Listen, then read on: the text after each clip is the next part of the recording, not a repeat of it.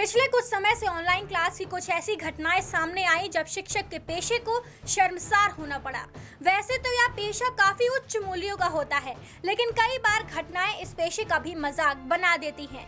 ऐसा ही एक मामला सामने आया है, जहाँ एक यूनिवर्सिटी प्रोफेसर ने ऑनलाइन क्लास के दौरान पूर्ण फ़िल्म चला दी इस घटना के समय ही एक छात्रा के पिता उसके पास मौजूद थे और फिर यह मामला यूनिवर्सिटी प्रशासन तक पहुँच गया। दरअसल, यह घटना ऑस्ट्रेलिया स्थित सिडनी यूनिवर्सिटी की है। संडे टेलीग्राफ की एक ऑनलाइन रिपोर्ट के मुताबिक यूनिवर्सिटी के एक प्रोफेसर ऑनलाइन क्लास ले रहे थे। यह घटना तब हुई जब क्लास के बाद ब्रेक लिया गया था।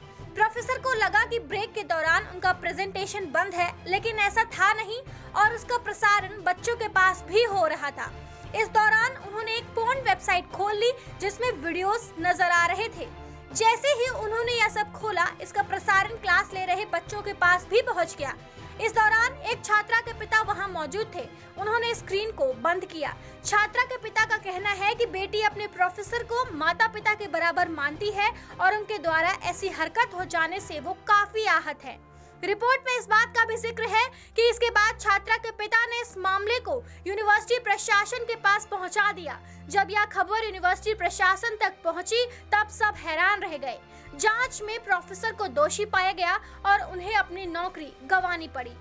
ब्यूरो रिपोर्ट, आज की खबर।